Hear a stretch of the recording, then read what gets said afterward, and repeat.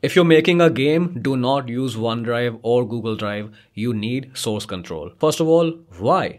It lets you back up your project to a website like GitHub. It lets you experiment with changes by creating separate branches of your code. And it's crucial for working in teams. So, how?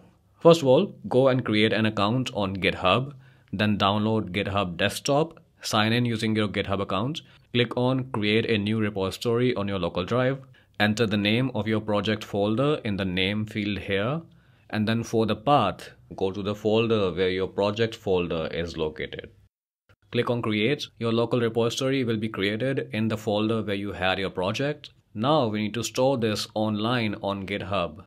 Click on publish repository, enter the name of your online repo and choose if you want to make it private or public and then click on publish. Your project is now published and stored online. You can click on view on GitHub to see the online repository and all of your project files will be here. Now you can make changes to your project and in GitHub desktop, they will show up under changes. You first need to save them into your local repository. So enter a summary of the changes here, write a description if you want and click commit. You can click on the push button to upload your changes to your online repository and you can then see the new commits on GitHub. Now by default, we are working in the main branch but you can make as many branches as possible. Once you're inside a branch, any changes you make stay inside that branch only. For example, you can make a new branch to test something experimental and then commit your changes. And then if you come back to your main branch or any other branch, it will be the same as before.